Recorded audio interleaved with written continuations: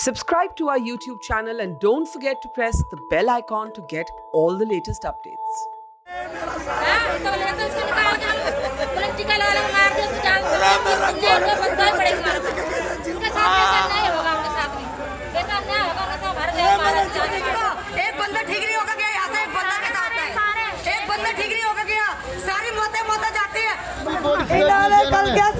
These are the unspeakable scenes of rage, of grief, of heartbreak at hospitals across Delhi. Right now, a kind of incoherent anger and tears. Let's get a sense. दीदी दीदी दीदी दीदी दीदी आराम से आराम से बताओ क्या बताओ मैं आपकी बात सुनने के लिए आई हूँ आप एक सर एक मिनट एक मिनट एक मिनट दीदी दीदी एक मिनट आपका नाम बताओ मेरा बिजना को अच्छा आप अच्छा एक मिनट। ए, एक एक मिनट आप आप विधवा हैं आपने बताया। नाम दोबारा बताइए। विजन कौर। अच्छा आप मुझे विजन कौर दीदी ये बताइए क्या हुआ किसका डेथ हुआ? ये मेरे बेटे को मुझे पता नहीं मेरे को परसों बोल रहे थे। परसों उठ के बैठा हुआ था ना इन्होंने देखा था। हाँ। मैं खाना भी खाया था बैठा भी था। तो इन्होंने क्या किया? कह रहे तुम बाहर अंदर मत घुसो मत घुसो। मैंने बात कर लो ना मेरा बेटा ठीक हो जाएगा। वो का डरता है डॉक्टरी में रहते हुए? एक मिनट। वो डॉक्टरी में रहता है वो डरता है। या उसकी बीबी को रहने दो या मेरे को रहने दो।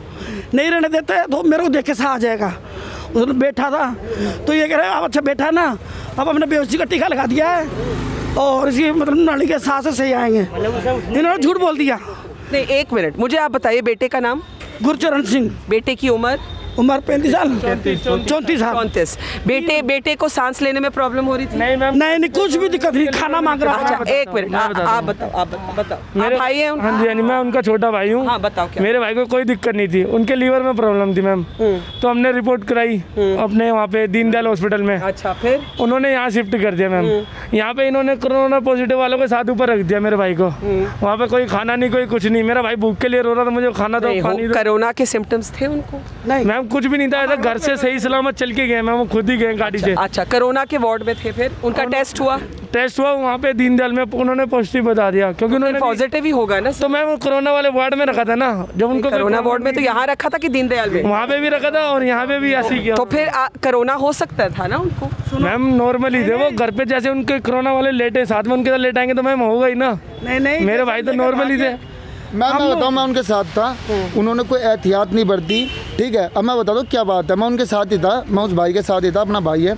और दूसरी बात यह उन्होंने कोई एहतियात नहीं बरती ना उन्होंने कोरोना कोविड नाइन्टीन के पेशेंट को उन्होंने डिस्टेंस नहीं बना के रखा। इन्हों की एहतियात अगर बरती जाती तो ये आज ऐसा करते। ना बॉडी हमारे वो वो दे रहे। और दूसरी बात उन्होंने ऐसी कोई एहतियात नहीं बरती ना उन्होंने डिस्टेंस बनाया डिस्टेंस का फॉलो नहीं करा। किस चीज़ का उन्होंने पहले दिन में रिपोर्ट खो दी और कह रहे रिपोर्ट दो। तो डिस्टेंस का कोई फॉलो नहीं किया। कोरोना आप भी जानते मैम कोविड नाइन्टीन पेशेंट का अगर कोई पॉजिटिव आ जाता है कोविड नाइन्टीन पॉजिटिव है कोई तो उसका डिस्टेंस बना के आपके आपके भाई का आ, बेड आ, करा। आ, आपके भाई का पहला टेस्ट भी पॉजिटिव आया था ना? नहीं नहीं नेगेटिव नेगेटिव मैम नेगेटिव आया था। यहाँ पे पॉजिटिव जब से हम लेके भागे सुनो। जब से लेके भागे फिर बिल्कुल ठीक ठाक रुका है। एंबुलेंस बेड फट के आ रहा था। मैं उसको बेड नहीं मिल रहा था कहीं भी। बिल्कुल ठीक ठाक डिस्टेंस नहीं बना आप कह रहे हैं केयरफुल नहीं। जी जी जी। पर टेस्ट केयरफुली केयरलेस और सुनो। Okay this family this family ये कह रहे हमारे पास रिपोर्ट नहीं है। पहले आज कैसे कह रहे रिपोर्ट नहीं है। मैम की हमें रिपोर्ट ला के दो जब रिपोर्ट जाके बॉडी देंगे। आपको रिपोर्ट नहीं दिया? अभी हमारे रिपोर्ट और बल्कि हमसे बोले रिपोर्ट ला के दो।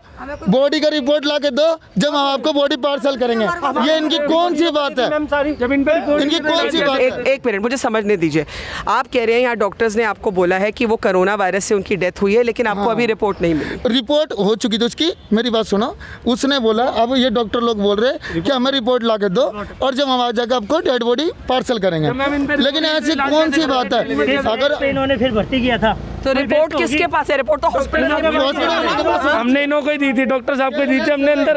तो वो कह रहे हमारे पास नहीं है। अब नहीं है लाश को बाहर निकाल के रख दिया है? अब उनकी बॉडी बॉडी बाहर रख दी है। बॉडी कहाँ है? हमारे कागज़ हमारे बाहर रख दी गेट में बोल रहे हैं। हमको जाने दे रहे नहीं जाने दे रहे। रिपोर्ट आप कहाँ से लाएँगे जब हॉस्पिटल में टेस्ट हाँ हाँ जी यही बस मैम यही तो बात है बहुत तीन छोटी छोटी बेबी हैं। मैंने इसको बचा दो। इनका क्या होगा? एक भी रूल फॉलो मैं करने की विधवा औरत नहीं है। चार बेटी मेरी तीन बेटी इसकी इनका क्या होगा बता मैंने का बचा दो। जैसे किसी को ऐसे फेंक देते हैं ना जानवर को ऐसे फेंका हुआ था मुझे अंदर तक भी नहीं जाने देते। छह महीने की बच्ची को मैं घर पे छोड़ के आ रखी हूँ। न दवाई लगाने की लाशों के बीच में मैं बैठी हुई अपने पति को लेके मैं मैं दिल को अपना पत्थर रख के बैठी मुझे पता है। मेरे को मेरे पति से मिलने भी नहीं दे रहे। मिलने भी नहीं दे रहे मेरे पति से मेरे को। दीदी दीदी आप ये आइसोलेशन और अब रिपोर्ट मांग रिपोर्ट सुनो सुनो सुनो मेरी बात सुनो। ये आइसोलेशन इलनेस है आपको मिलना नहीं चाहिए उनसे। तो बताएँगे ना। तो ये इलाज कैसे कर रहे थे? सर सर सर ये ये इलाज कैसे कर रहे थे फिर? जब इनके पास रिपोर्ट ही नहीं है तो ये किस चीज़ रिपोर्ट रिपोर्ट किसके पास है? रिपोर्ट डॉक्टरों के पास है। तो आपसे क्यों मांग रहे हैं? रिपोर्ट इन्हों के पास है। उसी बेस पे तो ये इलाज करते होगे। अब मांगने का क्या फ़ायदा रिपोर्ट ये भी किस बेस पे आप आप कहाँ से रिपोर्ट लाएँगे? बेस तो इन्हों ये किस बेस पे लेके आए दीनदयाल से? वहाँ से लेकर ये कह रहे हैं दीनदयाल से लाए थे। हाँ किस बेस पे लेके आए थे? दी- रिपोर्ट हो गई पॉजिटिव अच्छा जो दीनदयाल की रिपोर्ट दीनदयाल की जो रिपोर्ट है आपके पास है? हमारे पास नहीं उन्हों के पास दी इन्हों को दे दी। रिपोर्ट का एडमिट कर लिया। इन लोगों ने बिगर रिपोर्ट के एडमिट कर लिया इन्हें। ये तो तो इतनी सी चीज़ इतनी इतनी सी चीज़ें मांगते हैं। बिगर रिपोर्ट के इन्होंने मेरे हस्बैंड को एडमिट कर लिया यहाँ पे। और कोरोना बता कभी यहाँ कभी वहाँ लेकर मैं अपने पति को भाग रही हूँ। इन्होंने मेरे पति को मारा। है इन्होंने एडमिट नहीं कर रहे थे मेरे भाई को। क्या हुआ? आप हॉस्पिटल से हॉस्पिटल गए थे? हाँ जी, मैम। कितने कितने हॉस्पिटल गए जितने भी थे मैम टोटली सब गए। अच्छा सुनिए सर सर मैं मैं मैं सर एक मिनट मुझे मालूम है आप बहुत अपसेट है लेकिन मुझे आप आराम से बताइए कितने हॉस्पिटल गए थे? मैम दस से बारह हॉस्पिटल गए थे। केतरपाल बी एल के एक- कपूर। एक जना बोलो एक जना। सर एक जना एक भाई आप बोलिए। कौन से एक मिनट भाई आप बोलिए कौन से कौन से हॉस्पिटल सबसे पहले मैम हम खेतरपाल गए थे। उन्होंने बोला बी एल के कपूर जाओ वहाँ गए वहाँ करे बेड खाली नहीं है। फिर हम उनसे आगे एम्स गए सत्तर जाएँगे वो करे कोई भी बेड खाली नहीं है हमारे पास आप कहीं और ले जाओ। आगे जाके मतलब मुझे नाम भी नहीं पता इतनी डॉक्टर इन्होंने भेजा सब जगह गए। आखिरी में हम दोबारा दीनदयाल गए फिर।